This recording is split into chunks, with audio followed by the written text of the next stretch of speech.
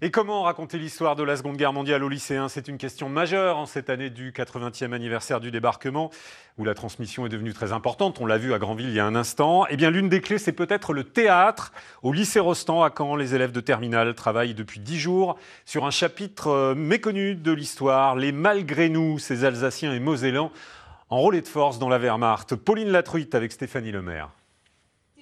C'est l'histoire de Joseph Kopp, enrôlé de force et soumis aux ordres de Charles, un Alsacien comme lui, mais qui a intégré l'armée nazie par conviction. Rien, soldat. Vous n'êtes pas là pour penser. Dans cette scène s'affrontent donc deux visions du monde. Je vous conseille dorénavant d'obéir aux ordres qui vous seront donnés. Même quand il est incorporé de force, il veut pas, il veut pas, euh, il veut pas déserter parce qu'il veut que sa femme et euh, sa fille restent en vie. Je trouve genre profondément gentil. Je veux juste comprendre. Comprendre Il n'y a rien à comprendre. Tout n'est qu'une question de choix, c'est tout. J'en avais jamais entendu parler, donc c'était intéressant de découvrir. Parce que c'est des, des aspects dont on nous a jamais parlé, d'une période dont on nous parle depuis qu'on est tout petit finalement. Le véritable Joseph Kopp habitait Strasbourg.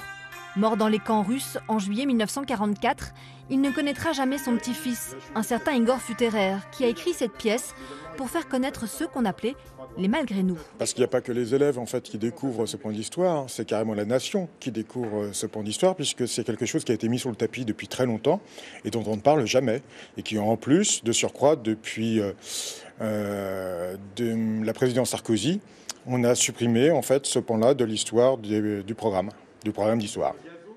Depuis dix jours, donc, les élèves s'imprègnent de cette histoire autrement, par les livres, mais surtout le théâtre, aux nombreuses vertus pédagogiques. Ils vont l'acquérir de manière différente que d'une manière, euh, manière magistrale. Ils vont l'acquérir d'une manière corporelle, tout simplement, en, incarnant à un moment un personnage euh, de, la pièce euh, d'Igor Futurer. Mon colonel, je n'y suis pour rien. Je n'ai pas voulu faire ça. Le choix, la liberté, l'histoire de Joseph Kopp permet aussi d'aborder la philosophie. Et vous n'avez rien fait pour vous y soustraire? Il me menaçait d'exécuter ma famille si je ne le faisais pas. En posant notamment cette question, qu'aurais-je fait à sa place?